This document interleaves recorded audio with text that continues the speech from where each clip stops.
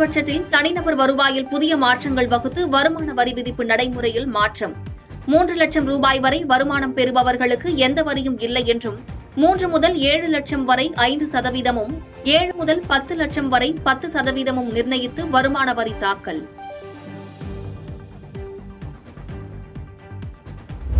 இரண்டாயிரத்தி இருபத்தி நான்கு இருபத்தி ஐந்தாம் நிதியாண்டிற்கான மூலதன செலவிற்கு பதினொன்று புள்ளி ஒன்று ஒன்று லட்சம் கோடி ஒதுக்கீடு.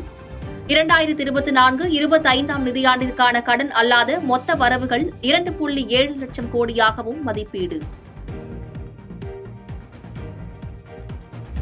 பிளாட்டினம் மீதான சுங்கவரி பதினைந்து புள்ளி நான்கு சதவீதத்தில் இருந்து ஆறு புள்ளி ஐந்து சதவீதமாக குறைப்பு.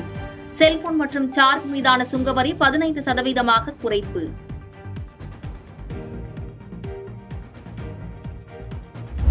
புதிய வருமான வரி முறையின் கீழ் வரி குறைப்பு மூலம் ஊழியர்கள் ஆண்டுக்கு பதினேழாயிரத்து ஐநூறு ரூபாய் சேமிக்க முடியும். பட்ஜெட் உரையில் மத்திய நிதியமைச்சர் நிர்மலா சீதாராமன் அறிவிப்பு. மும்பை பங்குச் சந்தையில் சென்செக்ஸ் ஆயிரத்து இருநூறு புள்ளிகள் வீழ்ச்சியடைந்தது. முதலீட்டாளர்கள் எதிர்பார்த்த முக்கிய அறிவிப்புகள் ஏதும் பட்ஜெட்டில் இடம்பெறாத நிலையில் கடும் வீழ்ச்சி.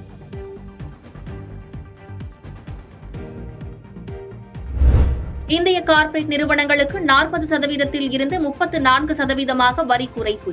முதலீடுகளை பெருக்கவும் வளர்ச்சிகளை மேற்கொள்ளவும் வரி குறைக்கப்பட்டுள்ளதாக நிதியமைச்சர் நிர்மலா சீதாராமன் அறிவிப்பு. டிடிஎஸ் எனப்படும் வருமான வரி பிடித்தம் தாக்கல் செய்யப்படுவதற்கான தாமதம் இனி கிரிமினல் குற்றமாக கருதப்படாது. மத்திய பட்ஜெட்டில் நிதியமைச்சர் நிர்மலா சீதாராமன் அறிவிப்பு. தொழில் முதலீட்டாளர்களுக்கான ஏஞ்சல் வரி விதிப்பு முறை முற்றிலுமாக அகற்றப்படுவதாக நிதியமைச்சர் அறிவிப்பு. பங்குச்சந்தையில் பட்டியலிடப்படாத நிறுவனங்கள் திரட்டும் மூலதனத்திற்கு ஏஞ்சல் வரி விதிக்கப்பட்டிருந்த நிலையில் இனி கிடையாது என அறிவிப்பு.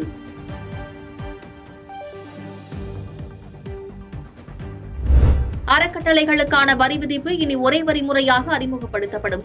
கடந்த காலங்களில் இரண்டு முறையாக வரி செலுத்தப்பட்டு வந்த நிலையில் தற்போது ஒருங்கிணைக்கப்பட்டு ஒரே முறையாக மாற்றப்படும் என நிதியமைச்சர் அறிவிப்பு.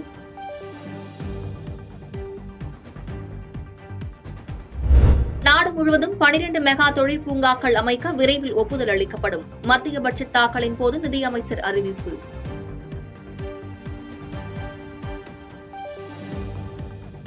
பாதகம் செய்பவரை கண்டால் நாம் பயங்கொள்ளலாகாது பாப்பா. மோதி மிதித்து விடு பாப்பா. அவர் முகத்தில் உமிழ்ந்து விடு பாப்பா. அண்மை செய்திகளை உடனுக்குடன் தெரிந்து கொள்ள இணைந்திருங்கள் இயம்நாடு தொலைக்காட்சியுடன்.